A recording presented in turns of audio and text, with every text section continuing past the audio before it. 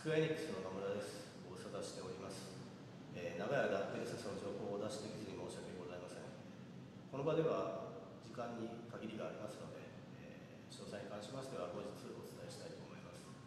それでは早速、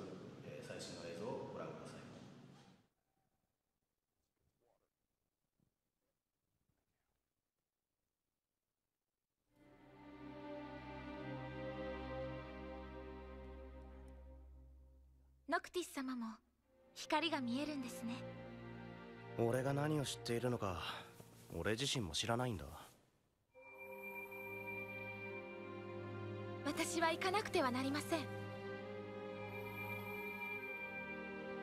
忘れることなんかできないさ。私のことなど気にせず自由に生きてください疑いなく信じていた世界は常に変化し今終わる。こうでなければならないなどというものは本来この世にない。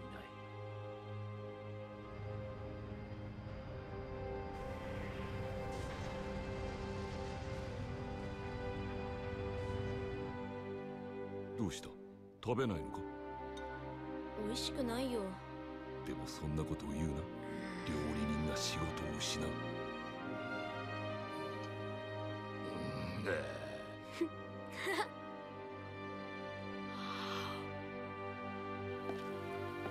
ルシスの血は根絶やしにすればいい。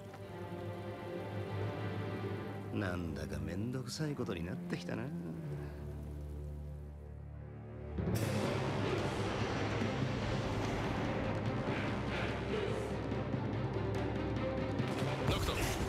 城へ行こう奴らの目的は何なんだやはりクリスタルだと思うニフルハイブはこれまでにもソルハイブテネブラへアコルドのクリスタルを手に入れようと戦争を起こしてる親父逃げてるらしいぞああ合流を急ごう気ぃつけろ。よ奴ら本気で殺しに来てるみたいだぞ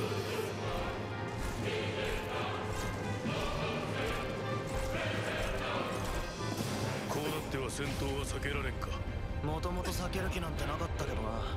ノクトどこまで行けノクト暴れると敵を引きつけてしまうぞ。大丈夫だ。強いからな。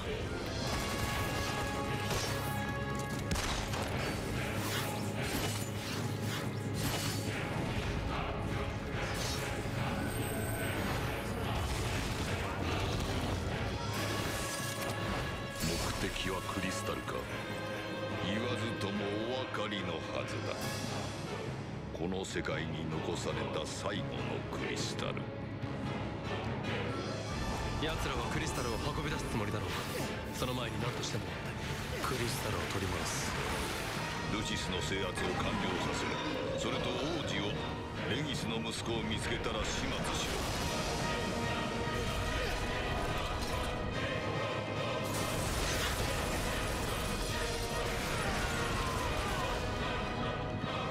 知りたいのか？まあ重いぞ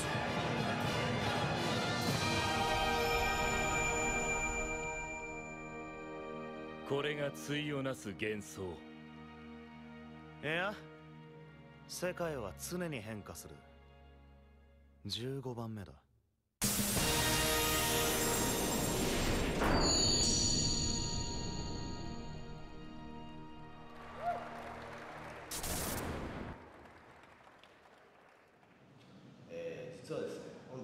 もう一本の映像の方をご用意しております。こちらの方はタイトル発表用のティザー映像となり